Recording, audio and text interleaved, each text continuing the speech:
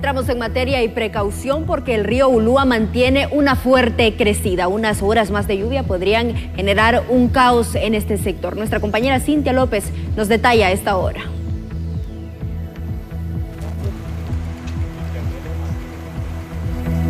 Así es, en el estudio central de impacto BTV Meridiano, las afectaciones por las lluvias, por supuesto, siguen persistentes en el norte de Honduras, en ese momento ubicados en Puente Plateado del Progreso. Mi estimado abuelito, pues ha tocado básicamente salir de las viviendas por la afectación que hay. ¿Cómo se ha tornado la situación aquí en esta zona? Buenas tardes. Buenas tardes. Ahí está bien lleno donde nosotros vivimos. Y entonces está lleno, está peligroso tienen eh, pues temor básicamente de que las aguas filtren hasta la casa y básicamente toque hasta el techo. Sí, ahí sí. ¿La población cómo ha hecho en estos días para poder sobrevivir a esa fuerte inundación en el sector del Progreso Lloro? No, nada. Aquí siempre pasa bueno lo mismo. Sí, siempre pasa lo mismo.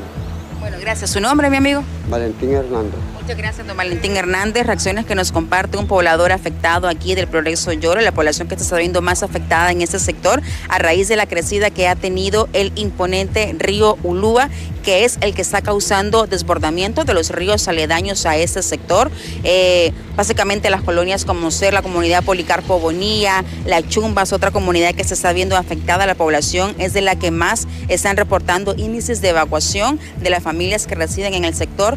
Vemos en ese momento en las imágenes cómo se encuentra de alto el río Ulúa en ese momento que transita pues aquí abajo del puente plateado en el Progreso Llora. Es bastante la cantidad de agua, evidentemente ha tenido una crecida bastante considerable. Es por ello que a raíz de la lluvia que no se ha mantenido, que se ha mantenido, mejor dicho, de una manera pues persistente, lo que ha provocado el almacenamiento de agua, generando de esta forma que la población siente ese temor porque el oleaje está bastante fuerte. Incluso se menciona que en algunas zonas pues el agua está generando estragos, aparte como las inundaciones, también está provocando que la población en las viviendas pues ya no pueda estar dentro, porque con una mínima cantidad de agua, el ambiente que se torna evidentemente es preocupante, la gente pues pasa por la zona a dar pues su respectiva vistazo por decirlo así, para ver cómo se mantiene la crecida en el río y de esa manera pues considerar qué tan peligroso puede ser para ellos si están a tiempo de evacuar o se esperan un poco más,